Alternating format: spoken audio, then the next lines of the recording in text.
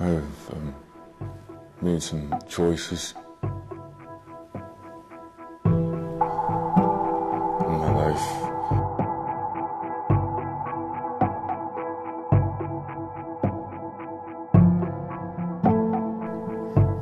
I have to live with them.